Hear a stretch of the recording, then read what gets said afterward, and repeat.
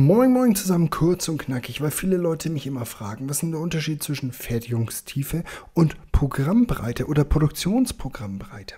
Fertigungstiefe beschreibt die Anzahl der Fertigungsstufen, die ein Erzeugnis im eigenen Unternehmen durchläuft. Also du hast eine Fertigung und dann machst du in dieser Fertigung folgendes. Du schneidest das Produkt zurecht, du presst es auch noch, du verschweißt es, du grundierst das Ganze und dann baust du es fertig zusammen und in dein Produkt ein.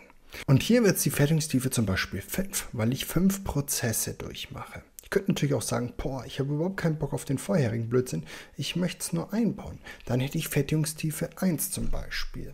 Also bei der Fertigungstiefe handelt es sich nur darum, wie viele Prozesse ich von der Fertigung dieses Produktes innerhalb meines Unternehmens durchführe.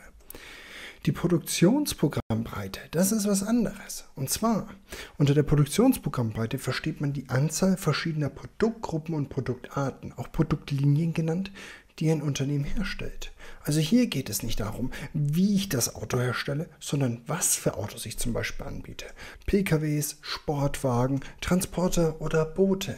Und das ist meine Produktionsprogrammbreite wie breit ist mein Produktionsprogramm, was ich im Endeffekt produziere und dann zum Beispiel anbiete. Dieses Restaurant zum Beispiel, das hat sieben verschiedene Produktionsprogramme. Und umso breiter das Ganze ist, umso mehr biete ich einfach an.